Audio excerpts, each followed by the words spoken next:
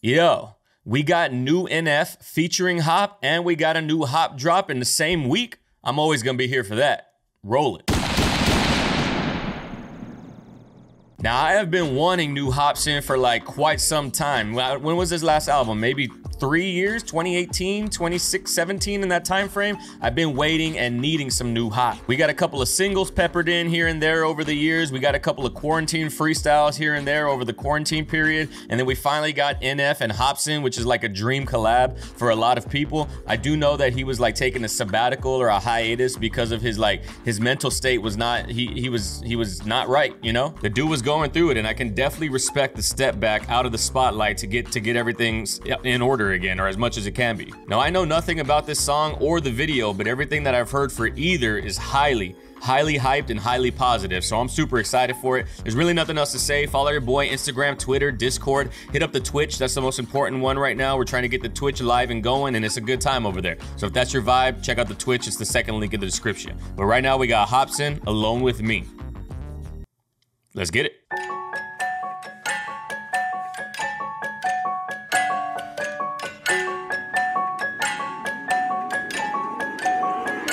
Marcus fucking Hobson, my guy, what up? Don't mean to intervene. How are things going? Yo, that transition into a yo into a cut shot with no cut, and then we transition to him talking to himself. Like I'm, I'm, I'm assuming this is gonna be like his conscience talking to him because he said Marcus fucking Hobson, my guy, what up? Don't mean to intervene. Do what you gotta do, but I'm just here. You know what I'm saying? But like, yo, that transition and then that effect, that like particle displacement effect to like to like bring him in that's clean. It's clean on its own, but the reason I say it's clean is because there's not even a jump cut. Like you don't see a jump cut at all when the camera pans that way. I don't know. I don't know if the I don't know if the background is green screen. I don't know if he was green screened. I, I don't know how they did that with no cut. Like it was a smooth pan transition. It could have also been. It could have also been a camera that's like on a on a robotic arm that makes the same movement every time, and they just record it multiple times. But that's clean. Now now I get why people say the effects in the video crazy. Marcus fucking Hopsin, my guy, what up? Don't mean to intervene. How are things going? Talk to me. How you living, G? You look so confused right now. Do you remember me? Cause I've been with you since a teen, fucking you up mentally. I love it, dude. Stay Bro, the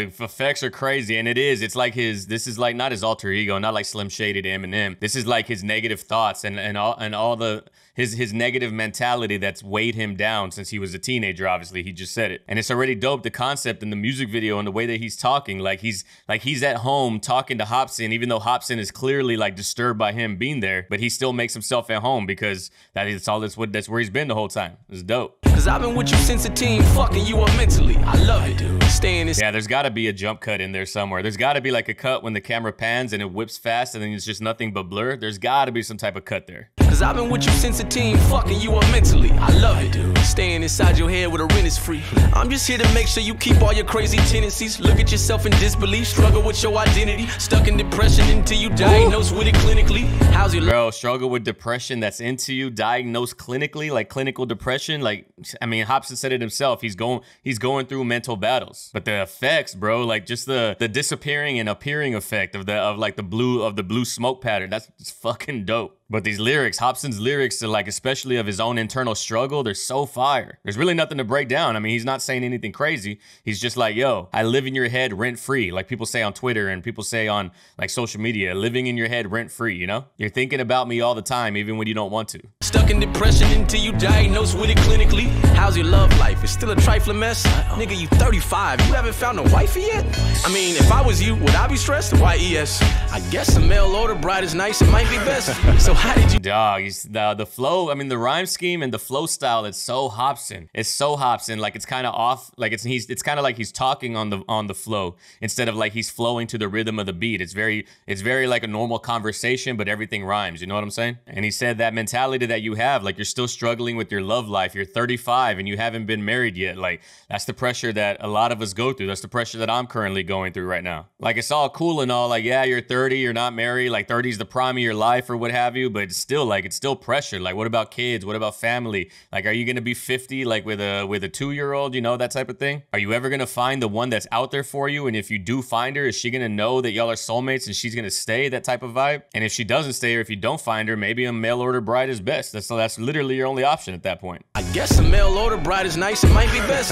so how did you manage to get rich yet be so empty? Constantly stuck in a deep old frenzy. Maybe your ego ain't eco-friendly, bro. You got a life that we don't envy. And I bro, that's gotta be. It's gotta be a remote control camera. There's no fucking way. These shots right here, let me let me show you because I think I said it in the therapy session video whenever NF was talking to himself, like they were both in the two chairs, but the camera was still. Like it's easy to do that when the camera is still because you just cut you just cut the scenes and overlay them on top of each other. So it's one side and the other. But this right here, it's much harder to do when the camera is moving because it's impossible to get that same movement twice unless the camera is on some type of rig where it's robotic, like I said, and is able to make the same emotion an infinite amount of times. But like the way the camera camera moves right here and he throws the bag of money. Like, how are you, how are you so rich, but you still, but you still feel so empty? How is your dream coming true? Being a successful rapper, being a successful creative such as myself. How, how, how are you still empty inside when people would dream for this job? But the moment that he like throws the bag of money, that's like the director saying like, "Yo, this is this is not this is not some post production editing type of shit. This is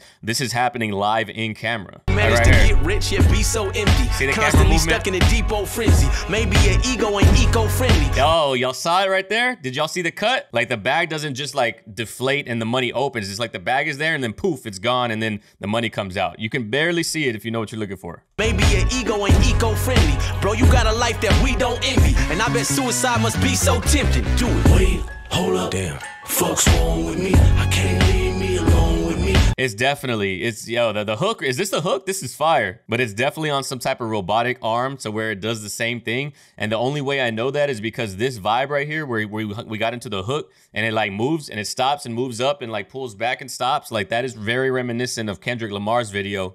Was it for DNA? I think it was. When he's like looking at the camera and it's just moving nonstop. That that's how I know it's on that type of arm. Hold up, damn. Fuck's wrong with me. I can't leave me alone with me. Wait. I'm like, who is this nigga? Why do I it? Couldn't be clearer. The man inside the mirror. Wait, hold up. What's wrong with me? Who is this?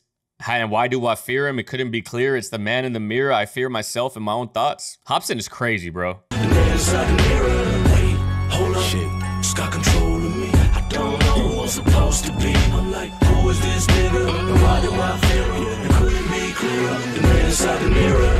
So how's the rap life? Do people enjoy your music, or you still spitting that bullshit to destroy the youth with? How's are, you, are people enjoying your music? Are you still spit? Hey, is that Joyner on the back of that? That's definitely Joyner on the back of that magazine or on the back of that paper, right? All right, now I'm excited to see what he's about to say or what why that's even in there. But again, just another thing that like is a clue that gives it away that this is multiple takes and but they but they seem it they like they pull it together so well is because it's rare that Hopsin it's rare that that Hopsin like the internal conscious Hopsin like crosses over the same frame of the physical Hopsin with no shirt on. So how's the rap life? Do people enjoy your music, or you still spitting that bullshit to destroy the youth with? Be honest, you live in the shadow with Joyner Lucas. Uh-oh. Jealous? I know that you are. My point is proven. What fuck happened? Yo, you live in the shadow of Joyner Lucas. Are you jealous because I know you are? My point is proven because he knows he is because he's his conscience. Like, yo, I can understand that mentality. I can understand why that's why that why that would be frustrating because he's seen Joyner Lucas's kind of like meteoric rise in terms of underground hip hop, where Hopsin is like he has this fan base. I don't know if it's growing or getting any getting any like I don't know if it's growing or going down, but Joyner's like been on the rise and at this point, Joyner seems like to be the bigger, to be the bigger, uh, to be the bigger artist. It's kind of the same with me. Like this is a thought that I would have. Like, yo, everybody else's, every other reaction channel's meteoric rise that ended up passing you. Are you envious? Are you jealous of that? Like, yeah, the fuck I am. And it's not like I hate other reactors or like fuck them for passing me or anything like that. It's just that's my that's my competitive nature. I'm an extremely highly competitive person.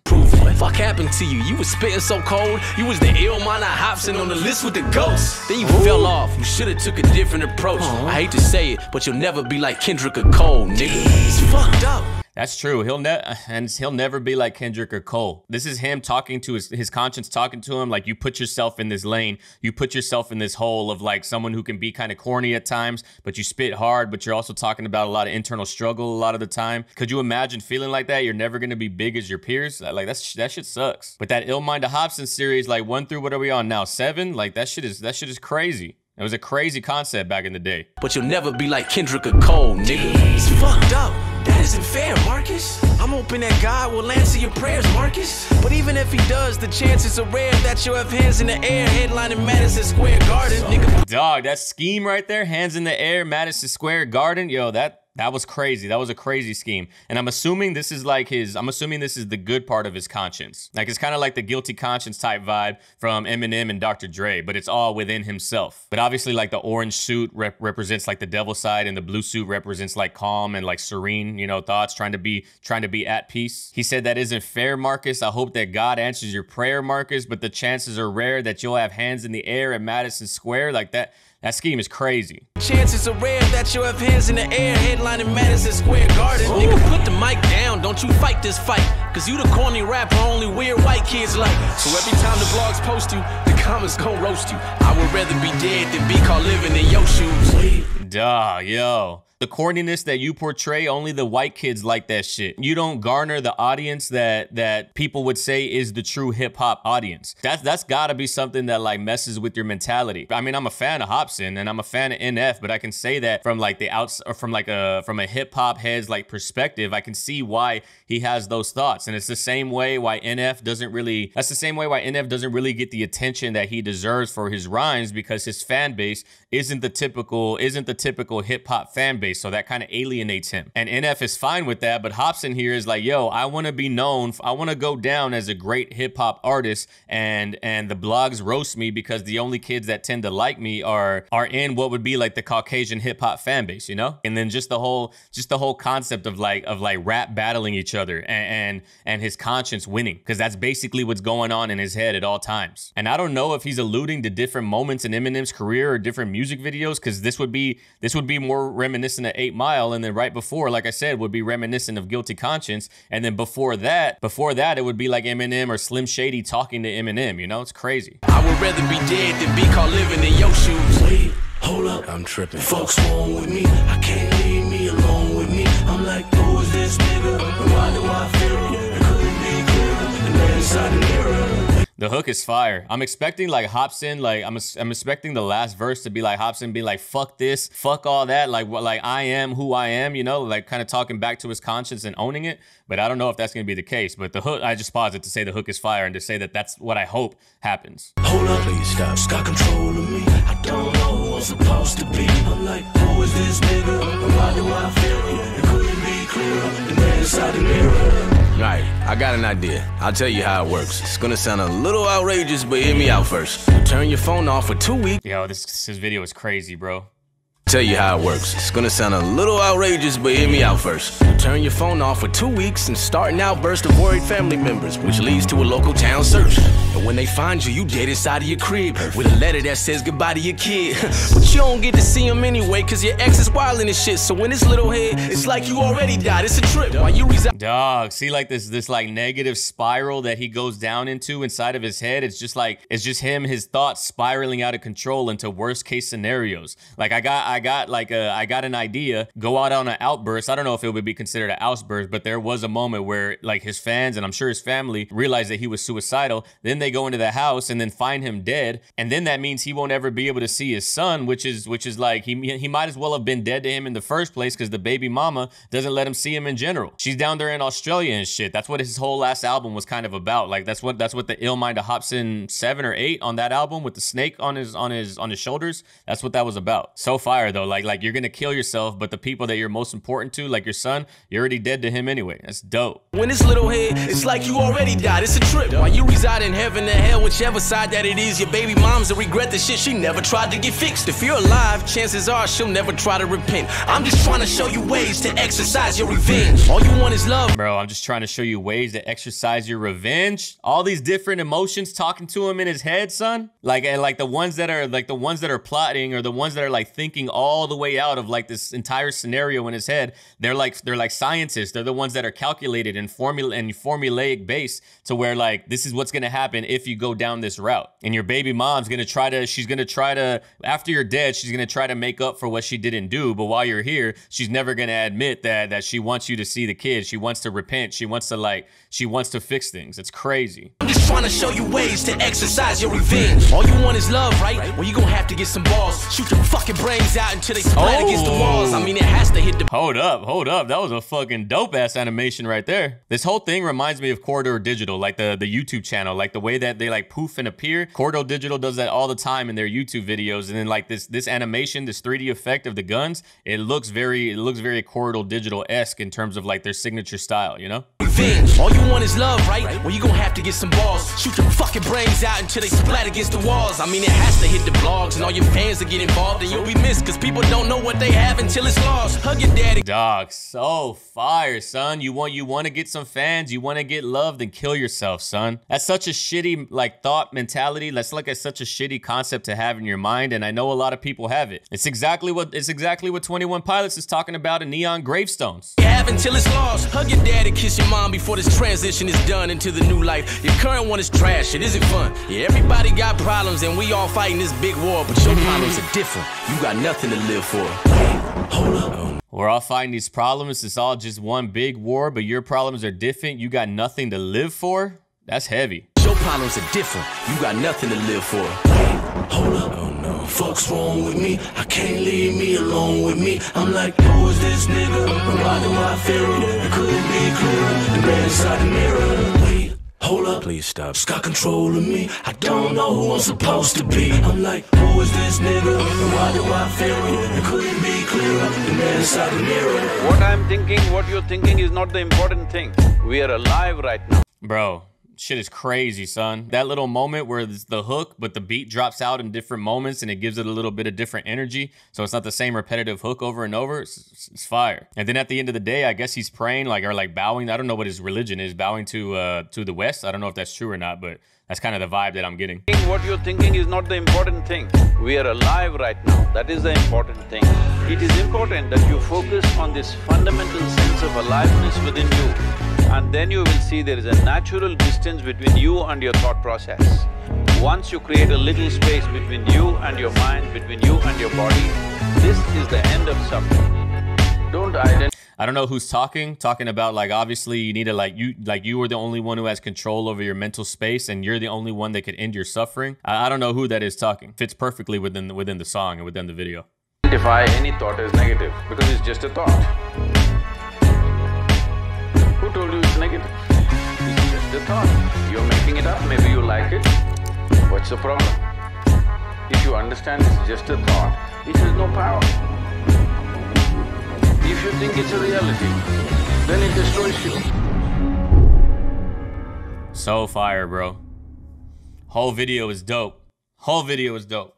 And I like the fact at the end right there, he like he's it's kind of him like being symbolic and telling his fans or like kind of like, yo, I- I'm gonna be killing these demons that are inside of me. They're not gonna get the best of me. That's like the point of like handing over the grenade. That's what I assume at least. But yo, that whole song and the video specifically, like everybody was hyping the video, and that's rare. That's rare when people when when artists put out music videos. It's rare where people like your average person, not someone who edits for a living or someone who, who records videos for a living. I know what to look for. I know what's dope about the video and what makes it cool. But like your when when your average person comes in and is like, yo, the video is fire. That's when it's like, oh shit, it's gotta, it must be really fire, and it was. The effects on this video, the camera movement, the panning, the robotic arm movement, the the the duality of having him like multiple versions of him in the same scene. All of that is crazy, and it fits the song perfectly. Now I understand. Now I, I, hope that we're getting a Hopsin album soon because I, I've been in need of one for since his last one. Basically, the dude just tells a story of internal struggle and anxiety and depression and all these crazy thoughts that are going through his head.